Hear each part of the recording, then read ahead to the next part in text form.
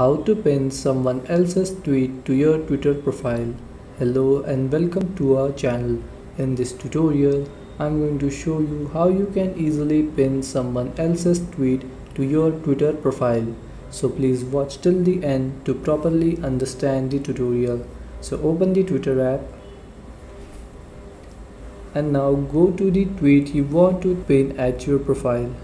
So for example, if I want to pin this tweet and if I tap on these three dots in the top right of the tweet here here is option to unfollow add remove mute mute this conversation view hidden replies add to twitter circle block and report. But there is no option to pin.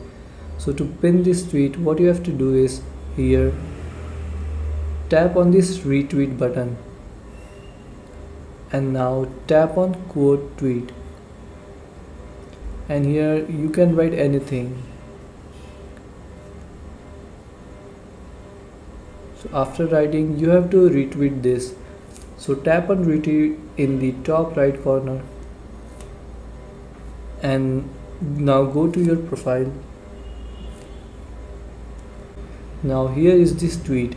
Now to retweet it Tap on these three dots in the top right of the tweet here. And here you will get the option to pin to profile. So tap on it and again tap on pin. Now this tweet is pinned to your profile. So this is how you can pin someone else's tweet to your twitter profile. Thanks for watching